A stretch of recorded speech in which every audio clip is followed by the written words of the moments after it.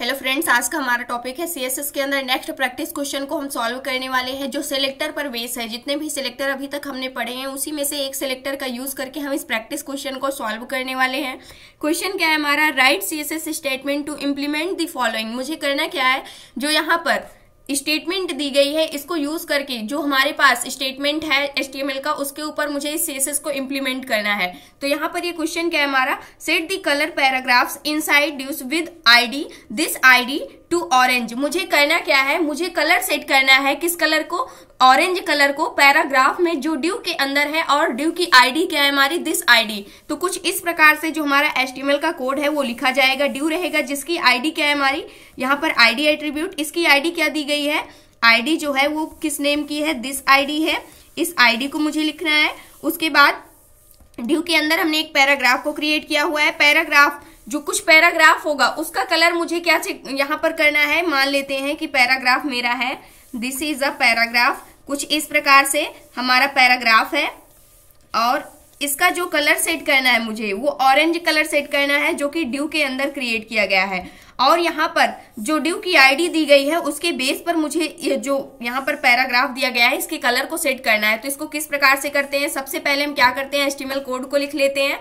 उसके बाद इस कलर को इम्प्लीमेंट करते हैं। सबसे पहले हम अपने यहाँ पर जो हमारी एस्टिमल की फ़ाइल है, इसके अंदर हम एस्टिमल कोड को लिखने वाले हैं। सबसे पहले हमारा एक आउटर डी होगा, जिसकी आईडी क्या है हमारी? आईडी। यहाँ पर जो एट्रीब्यूट है, यानी कि जो हमारी आईडी है, इसकी वैल्यू क्या है? जो आईडी नेम दिया गया है, वो है हमारी दिस आईडी। यहाँ से मैंने दिस आईडी दे दिया। उसके बाद मुझे करना क्या है? इसके अंदर एक पैराग्राफ क्रिएट करना है। पैराग्राफ क्या है हमारा? This is a paragraph. मैं कुछ भी नेम दे सकती हूँ यहाँ पे। पैराग्राफ मैंने दे दिया। ये हमारा क्या है? पैराग्राफ है और इसको हम सेव करते हैं। सेव करने के बाद अपने पेज को हम यहाँ पर रिफ्रेश करने वाले पेज को जैसे ही मैंने रिफ्रेश किया, यहाँ पर हमारा पैराग्राफ आ चुका है। अब इस पैराग्राफ की आईडी दी गई इसी आईडी के बेस पर मुझे क्या करना है? जो हमारा यहाँ पर पैराग्राफ दिया गया है, इसका कलर मुझे ऑरेंज सेट करना है। तो यहाँ पर हम स्टाइल ऐड करने वाले हैं। स्टाइल में क्या ऐड करेंगे? सबसे पहले तो फ़र्स्ट वे होता है कि हम आईडी सिलेक्टर को यूज़ करके क्या कर सकते हैं? इस पर कलर को इम्प्लीमेंट कर सकते हैं। तो आईडी सिलेक्टर मेरा क्या है? सबसे पहले हैज़ आईडी को सिलेक्ट करने के लिए, उसके बाद आईडी नेम हमने क्या दिया है? दिस आईडी दिस आईडी लिखेंगे, उसके बाद हम क्या करेंगे? पैराग्राफ पर, यानी कि जो हमारा एक प्रकार से मैंने ड्यू की आईडी को लिया, यानी कि ड्यू को सिलेक्ट किया, उसके अंदर हमारा कौन सा है? यहाँ पर एलिमेंट है पैराग्राफ है। और इस पैराग्राफ का कलर मुझे क्या सेट करना है? यहाँ से जो कलर सेट करना है कलर प्रॉपर्टी को यूज़ करेंगे। इसकी वैल्यू मुझे रखनी है ऑरेंज ऑरेंज कलर को मुझे सेट करना है तो यहाँ से मैंने ऑरेंज दे दिया और इसको मैंने सेव किया। सेव करने के बाद पेज को हम करने वाले हैं रिफ्रेश तो यहाँ से आप देख सकते हैं, जो हमारी हेडिंग थी, उसका कलर क्या हो चुका है? ऑरेंज हो चुका है। ये फ़र्स्ट वे होता है सेकेंड वे क्या होता है? सेकेंड में हम इसको, जो हमारा एट्रीब्यूट सिलेक्टर होता है, उसकी हेल्प से भी हम इसको कर सकते हैं सेलेक्ट उसकी हेल्प से हम किस प्रकार से सिलेक्ट करते हैं, इसको भी हम करके देख लेते हैं। सबसे पहले इसको हम कमेंट आउट करते हैं और यहाँ से हम पेज को रिफ्रेश करने वाले हैं। तो अभी कोई भी चेंजअप यहाँ पर नहीं दिखेगा। पेज को हमने रिफ्रेश कर दिया। यहाँ से पहले इसको हम सेव करेंगे। कंट्रोल एस उसके बाद इस पेज को हम करने वाले हैं रिफ्रेश यहाँ से मैंने रिफ्रेश किया तो इसका टेक्स्ट फिर से क्या हो गया? ब्लैक हो गया। अब यहाँ पर हम एट्रीब्यूट सिलेक्टर को यूज़ करने वाले हैं, जिसके लिए सबसे पहले मुझे क्या लिखना होता है? उस एलिमेंट को जिसके अंदर वो एलिमेंट लिखा गया है, यानी वो एट्रीब्यूट है हमारा।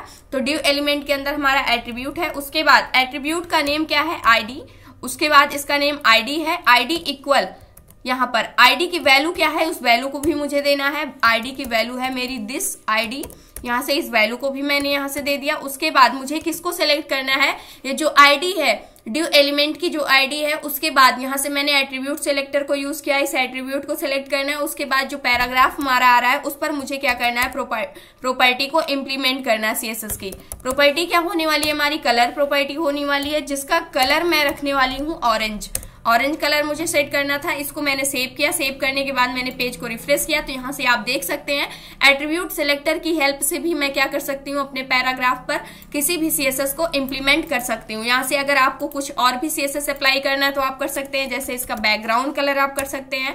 बैकग्राउंड कलर मैंने यहाँ से एक्वा दे दिया और इसको मैंने सेव किया। सेव करने के बाद मैंने इस पेज को रिफ्रेश किया तो इसका बैकग्राउंड कलर भी चेंज हो गया है। इस प्रकार से आप फॉन्ट फैमिली भी इस पर सेट कर सकते हैं टेक्स्ट डेकोरेशन को भी इम्प्लीमेंट कर सकते हैं। इस प्रकार से डिफरेंट डिफरेंट प्रॉपर्टी को आप क्या कर सकते हैं इम्प्लीमेंट कर सकते हैं। तो ये था आज का हमारा प्रैक्टिस क्वेश्चन इस क्वेश्चन को सबसे पहले आपको क्या करना है, खुद से सॉल्व करना है, उसके बाद आपको वीडियो को देखना है। तो आई होप दोस्तों, अगर आज की इन्फॉर्मेशन आपको अच्छी लगी हो तो प्लीज़ वीडियो को लाइक करना चैनल को सब्सक्राइब करना और दोस्तों के पास शेयर करना।